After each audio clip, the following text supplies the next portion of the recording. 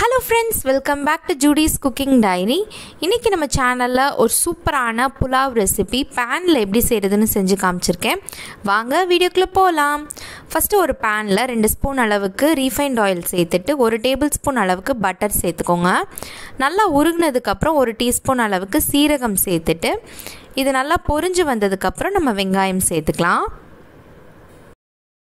ரெண்டு பெரிய வெங்காயத்தை நீள நீளமாக கட் பண்ணி இதில் சேர்த்துட்டு நல்லா வதக்கி விட்டுக்கோங்க. இது ஜஸ்ட்டு ஒரு கலவை சாதம் மாதிரி தான் பட் பிரியாணியே நம்ம கலவை சாதம் மாதிரி ரெடி பண்ண போகிறோம் சாதத்தை தனியாக வேக வச்சு எடுத்துட்டு மசாலா ரெடி பண்ணி அதோட மிக்ஸ் பண்ணி எடுத்துக்க போகிறோம் ரெண்டு பச்சை மிளகாயை பொடியாக கட் பண்ணி சேர்த்துக்கிறேன். உங்களுக்கு காரத்துக்கு ஏற்ற அளவு நீங்கள் பச்சை மிளகாய் சேர்த்துக்கோங்க. ஸோ வெங்காயம் பச்சை மிளகாய் வதங்குறதுக்குள்ளே நம்ம சாதத்தை ரெடி பண்ணி எடுத்தாச்சு.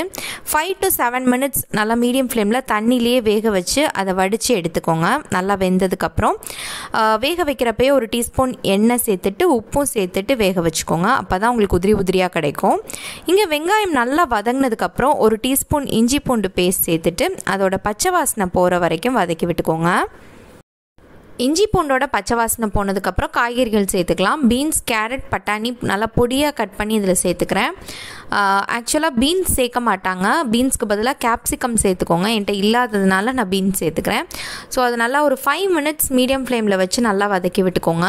இதில் நம்ம தண்ணி ஊற்றிலாம் காய்கறிகளை வேக வைக்க போகிறது கிடையாது. அந்த ஹீட்லேயே நல்லா வெந்து வந்துடணும் ஸோ இப்போ பாருங்கள் நல்லா கேரட்டும் பீன்ஸும் நல்லா ஓரளவுக்கு வெந்ததுக்கப்புறம் ரெண்டு மீடியம் சைஸ் அளவு தக்காளி அதை நல்லா பொடியாக கட் பண்ணி இதில் சேர்த்துக்கோங்க. ஸோ இன்னும் நம்ம வதக்கி எடுக்கிறதுக்குள்ளே நமக்கு காய்கறிகள்லாம் வெந்து வந்துடும் தக்காளி நல்லா வதங்கினதுக்கப்புறம் நம்ம மசாலா ஐட்டம்ஸ்லாம் சேர்த்துக்கலாம்.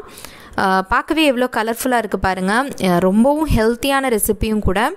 இதுக்கு காய்கறிகளுக்கு தேவையான அளவு உப்பு சேர்த்துக்கோங்க. நம்ம சாதம் வேக வைக்கிறப்பவே உப்பு போட்டு தான் வேக வச்சுருக்கோம்.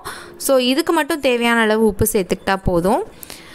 உப்பு சேர்த்துட்டு நல்லா வதக்கி விட்டுக்கோங்க. இதில் ஒரு கைப்பிடி அளவு புதினா இலை சேர்த்துக்கோங்க. இது சேர்த்தா நல்லா பிரியாணியோட ஃப்ளேவர் கிடைக்கும். சேர்த்துட்டு நல்லா அது சுருங்கி வதங்குற வரைக்கும் வதக்கிட்டு அதுக்கப்புறம் நம்ம மசாலா ஐட்டம் சேர்த்துக்கலாம். மிளகாய்த்தூள் கொஞ்சமாக மஞ்சத்தூள் ஒரு டேபிள் ஸ்பூன் அளவுக்கு பாவ் பாஜி மசாலா இருந்துச்சுன்னா அதை சேர்த்துக்கோங்க. இல்லைன்னா அதை ஸ்கிப் பண்ணிக்கலாம். சேர்த்துட்டு அந்த மசாலாவோட பச்சை வாசனை போகிற வரைக்கும் வதக்கி விட்டுக்கோங்க.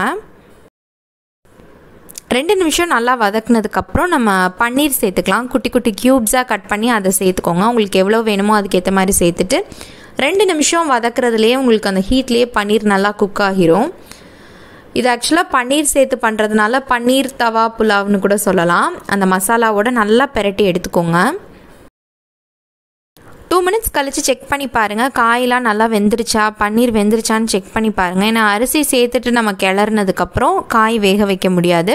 உங்களுக்கு லைட்டாக க்ரன்ச்சியாக இருந்தால் பிடிக்கும்னா அந்த ஸ்டேஜ்லேயே நீங்கள் ரைஸ் சேர்த்து கிளறிட வேண்டியதான் அடுப்பை சிம்மில் வச்சுட்டே மிக்ஸ் பண்ணிக்கோங்க.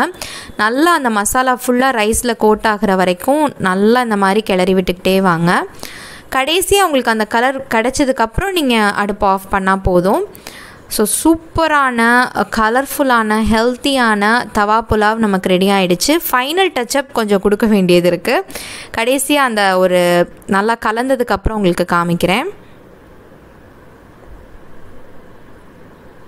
நல்லா பிரைட்டாக கலர்ஃபுல்லாக வந்திருக்கு பார்த்தீங்களா சூப்பரான தவா புலாவ் ரெடி ஆகிடுச்சு கடைசியாக கொஞ்சம் லெமன் ஜூஸ் சேர்த்துட்டு கொத்தமல்லி இலை தூவி ஒரு டேபிள் ஸ்பூன் பட்டர் சேர்த்திங்கன்னா சூப்பர் யம்மியான ஒரு தவா புலாவ் ரெடி ஆகிடுச்சு கண்டிப்பாக நீங்கள் உங்கள் வீட்டில் ட்ரை பண்ணி பாருங்கள் ட்ரை பண்ணி பார்த்துட்டு எப்படி இருந்துச்சுன்னு எனக்கு ஃபீட்பேக் கமெண்ட்டில் சொல்லுங்கள் இதே மாதிரி ஒரு சூப்பரான ரெசிபியில் உங்களை வந்து நான் மீட் பண்ணுறேன் அது வரைக்கும் ஸ்டே டியூன் தேங்க்ஸ் ஃபார் வாட்சிங் பாய்